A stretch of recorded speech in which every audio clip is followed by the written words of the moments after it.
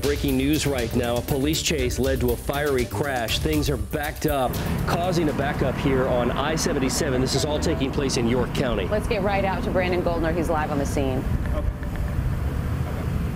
Well, guys, this is the Porter Road exit. We have multiple police cars, multiple agencies. We just have preliminary information. Let me show you and step around the camera.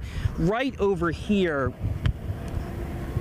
one second. Right over here, this is the vehicle that we've been kind of keeping an eye on. This is that Toyota Prius that we're told was involved in some sort of incident that began in Charlotte. Police there were following into York County.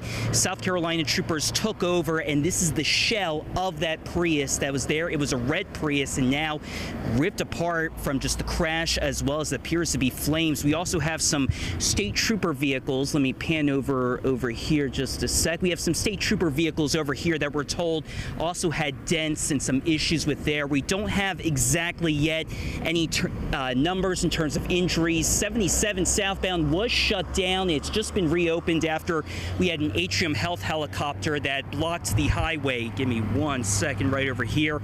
We're told it's multiple agencies that are involved, Rock Hill Police, York County Sheriff's Office, South Carolina Highway Patrol, as well as CMPD vehicles. We do know that this incident started in Charlotte with police following the this Toyota Prius entering into York County. This is the Porter Road area. Traffic backed up for several miles. So once we get additional information, we will bring it to you. But right now, what I'm being told is that law enforcement agencies will be out here for quite a long time. Reporting live in York County, I'm Brandon Goldner, NBC Charlotte. Brandon, thanks. Not a good time for this to be happening given that we're in the throes of rush hour. Right. Brandon, thank you.